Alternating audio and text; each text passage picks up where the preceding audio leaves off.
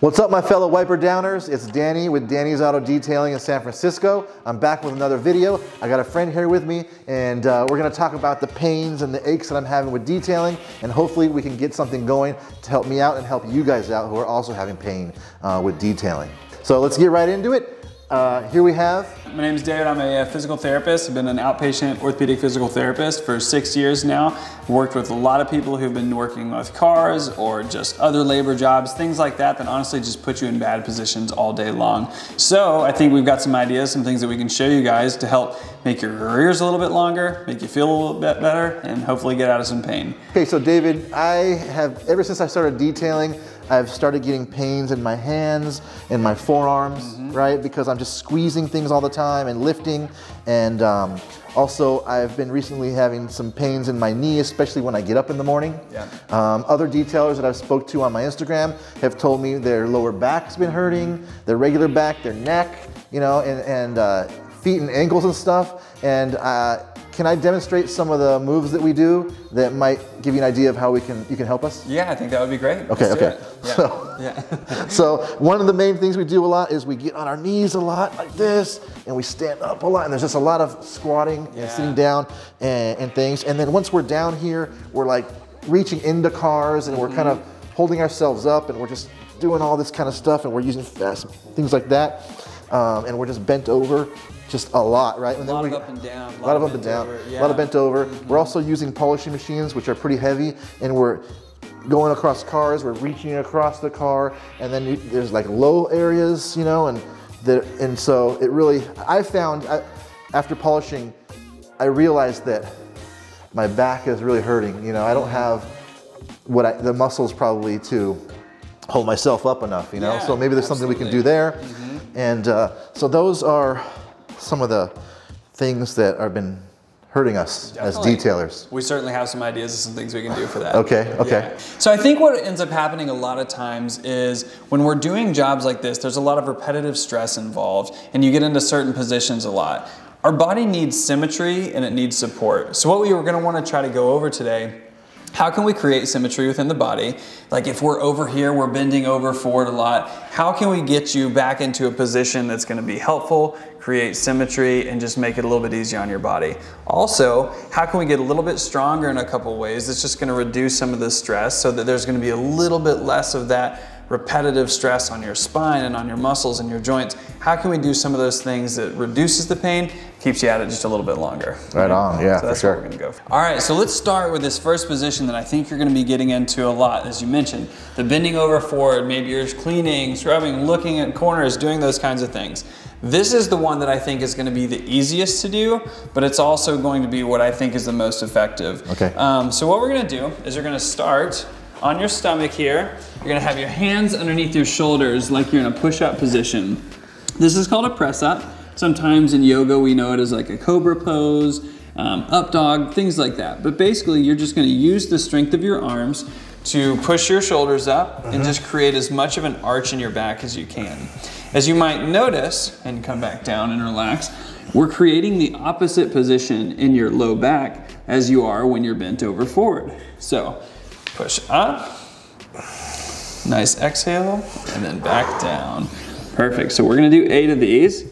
All right, up, exhale, back down. Good. And the whole idea here is you're spending so much time bending over forward inside yeah. the car.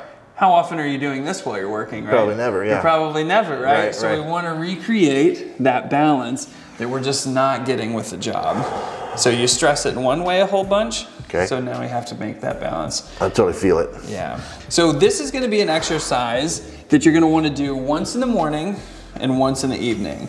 All right, there's actually a good amount of research, and you can take a break there. Okay. There's a good amount of research that shows that people who have had back pain in the past, if they do this exercise once in the morning and once in the evening, your recurrence of low back pain moving forward can actually be cut in about a quarter. So basically your risk is very significantly reduced. So something as simple as 30 seconds in the morning, 30 seconds at night, that's more than enough to take away a big risk of back pain. Right on, man, right on. What do you guys think? Is that a good exercise? Leave a comment below. Do you think we can we can do this uh, twice a day? I hope so. Yeah, we better. We better do it. So. It's easy.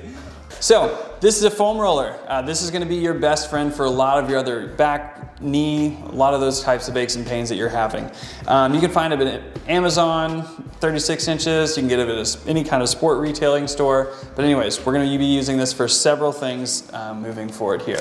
Okay. So um, we're gonna set it down on the ground here. Let's focus in on the back once again. So Danny, what we're gonna do, and actually we'll set these right behind us here, is you're going to start with the foam roller at the lower portion of your ribs, maybe right below your shoulder blades. You're gonna go hands behind your back here, and now you're gonna roll down and back up. Yep, this is like a free little massage that you're gonna get. Yeah, I can feel my bones cracking. you can feel a little bit of some crackles and some pops. Those are good things for sure. Little free massage back here. And then yeah, just working up and down. You'll wanna do this for about two minutes, maybe three minutes, frankly, as long as feels good, but that's gonna be a good amount of time to make sure that you're getting good and warmed up there. Okay. The next movement that we wanna do is you're gonna bring your hips down, mm-hmm. all right? mm-hmm. And then tighten your core muscles just a little bit. And now we're just gonna bend your back, back over the roller and let those elbows fall out to the side. I like this because we're getting to do two things at once here. We're both stretching out our pec muscles, the front of the shoulders, and then we're also getting that mid back mm. nice and extended. Ooh, yeah. All right, so come back up. Now roll a little bit lower on the roller, so bring it a little bit higher on your back. And now let's bend back one more time, open those shoulders up. So this you're gonna wanna do four, five, six times, whatever feels like is enough for you. And you just wanna make sure that you're getting nice and open and loosened up. And what you'll probably notice is once again, we're getting in the reverse positions of what you're constantly having to be in in the car. If you're constantly, if you're working and you're bending over forward and your shoulders are forward, well, guess what we're doing now? We're opening back this way. Your mid back is bent over forward, it's reaching forward. What are we doing? We're bending it back, just trying to create that symmetry once again. So this would be exercises two and three that should be helpful mm -hmm. for the mm-hmm. back. Awesome, man. All right, so we're back with our new best friend, the foam roller. This time we're gonna be a little bit more knee focused. So Let's get back into it. What are we doing? We're squatting up and down. We're holding those tools so those thighs are gonna get tight and it can cause some knee pain, can cause some issues around your kneecaps. So what we're gonna do is we're gonna place this on the ground, but instead of rolling our back this time, we are gonna roll our thighs or our quad muscles. Basically our target area is from top of the knees up to the hip bones. So we're gonna lay on it here Unfortunately, this one's not gonna be as comfortable as on the back. Yeah. So we're gonna roll forward, up to the knees, and then back down, back up to those quads and hips. And so when you find those hot spots kind of through there, you're gonna notice it's like, yeah, oh, that, yeah. that hurts right good. there. that hurts. That burns. So spend a little extra time on that. Do some small rolling back and forth, up and down those areas. And then after you get another 10 seconds in there, then just kind of move on to wherever that next spot oh, may yeah. be. Yeah. Everywhere. Everywhere. Yeah. So you might need to spend a few minutes on this. But I think a good frame of time would be two to three minutes. I think you work through that. Um, okay. couple minutes and that should be enough to kind of loosen things up just a little bit. And that's going to help with like knee knee joints even exactly knee joints it'll help take some pressure off of the muscles the tendons and therefore it'll help the joints move more effectively and in turn can we also like roll the back of our legs and our calves you similarly can. similarly yeah. yeah. sometimes i think it's not quite as effective but i do think it is a, certainly an option that you can start to work on a little okay. bit too yeah okay thanks cool. Dave. yeah, yeah. All right. Sometimes what I like to do now, if you have one of the longer foam rollers, um, is now that we have this loosened up, we can now stretch it out a little bit more effectively. So I like to go one hand on the roller for a little bit of balance, grab the foot, and then just pull your heel to butt. This is gonna take a little balance, a little coordination, but mm-hmm. now that we have that nice and loosened up, we're gonna work on stretching that muscle out. And here's a little tidbit about stretching. You wanna stretch that muscle between 45 to 60 seconds per day. Because anything less than that, unfortunately, doesn't make a big change over time. Okay. So we gotta do it for that long. All right, you hear that guys? 45 to 60 seconds. Yeah, makes muscle. a difference. Yeah, makes a difference. Yeah, so this full routine hopefully shouldn't take more than seven or eight minutes. You know, you spend a couple minutes foam rolling, a minute, um, couple minutes doing the stretch, minute or two doing those press ups. Honestly, you should be able to do the whole routine in less than 10 minutes. But if you have a specific problem, maybe it's just the knees, then maybe you just do the knee section. Or if it's just the back, maybe you just do the back section. But even if you were to run through the whole routine, hopefully it shouldn't take you more than seven, ten minutes out of your busy day. No excuses, guys. Yeah. No excuses. All right, so we're here to build up some core muscle. So I'm gonna use Danny as our muscle Oh. here, and uh, we're gonna figure out how can we get your back strong. And we gotta notice we gotta make some changes here. So um, the first position that we're gonna be in right here is, yep, perfect. Hands underneath the shoulders, knees underneath the hips, and you wanna tighten those core muscles. Um, so what we're gonna do is find that good position, it. tighten that core in case somebody's gonna come get you in the stomach, right? Yeah. So you wanna have opposite leg and Okay. arm are gonna come up and out at the same time. So basically, there you Oh, go. there we go. Hold that position for five, four, three, two, and one. And we're gonna alternate back and forth there. Four, three, two, one. Perfect. So there's a few things that you wanna look out for while you're doing this exercise. It's a really easy way to cheat if when you're doing this, if you start to rotate your hips a lot one way or the other, you wanna try Yeah. to stay nice and as Yeah. flat as you can. Um, Okay. Another thing. There it is, right there. Yeah, perfect. He's already a pro. And you want to make sure that you're holding it for long enough. That good full five seconds is what we need. Got it. There we go. Creates balance, creates stability in the core, and a little bit of focus too. Nothing like keeping you in the present. There we go. Yes, sir. That's what I tell my detailer friend. Everybody uh, is, you know, getting in the detailing the zone. You know, Mm-hmm. being in the present moment. Because if you're in the present moment while you're detailing, your eyes, uh, your vision opens up, and you can see more. Uh, Mm-hmm.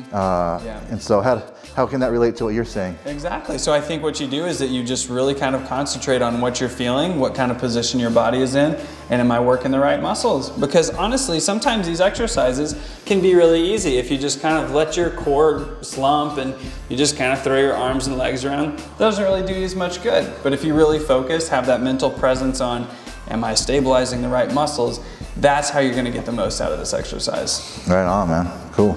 Cool. Those are good exercises. Yeah. Yeah. Personally, for me, something that I've had pain with, uh, and I don't know if you can help, but uh, stiff hands. Yeah. Is that is that from not stretching? Is that like a lifestyle uh, thing that I need to change? Like my hands, I think there's a lot of inflammation Mm-hmm. around my hands and my arms. I, that's all. What do you suggest? Like when I wake up in the morning, they're just like, uh, and I have to like work to kind of wake them up. 100%. So I think this is where we get back to the repetitive stress word that we were talking about, right?